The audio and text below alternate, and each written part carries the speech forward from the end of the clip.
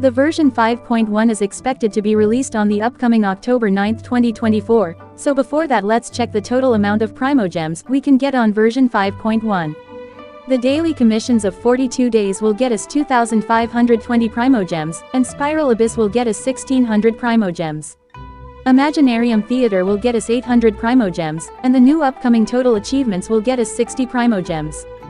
Paimon Store Reset will get us a total of 5 Intertwined Fate, which means 800 Primogems, and Character Trial Play will get us 80 Primogems.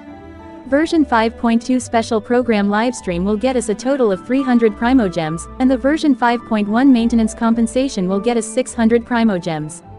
New upcoming World Quests, and Archon's Quest of version 5.1 will get us a total of 1090 plus Primogems, and version 5.1 promo code will get us 60 Primogems.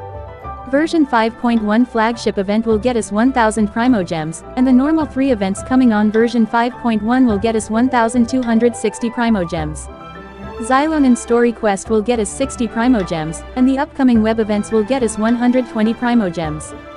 There are multiple source and info saying that, we will be getting the Marvelous Merchandise event rerun on version 5.1, which will give us 380 Primogems.